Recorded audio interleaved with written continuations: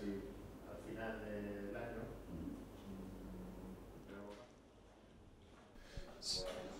Sí, presentamos este nuevo ciclo de formación Aula Empresa, que son eh, tres bloques de formación dirigida a emprendedores que hacemos conjuntamente desde el Gobierno regional con el Gobierno de Cartagena, a través del Info, del CEIC y nosotros a través de la Agencia de Desarrollo Local y Empleo. Apoyo a los emprendedores para que sean más competitivos, para que tengan una formación eh, más adecuada al nuevo mercado, a las nuevas tecnologías y objetivo que sean más competitivos, que, que, puedan tener mejores empresas, que puedan generar más empleo y que puedan eh, generar más riqueza para nuestro municipio. Ese es el objetivo, estamos consiguiéndolo, tenemos eh, el, del año pasado 703 personas que se, que se formaron a través de estos programas y este año esperamos superar esa cifra con creces.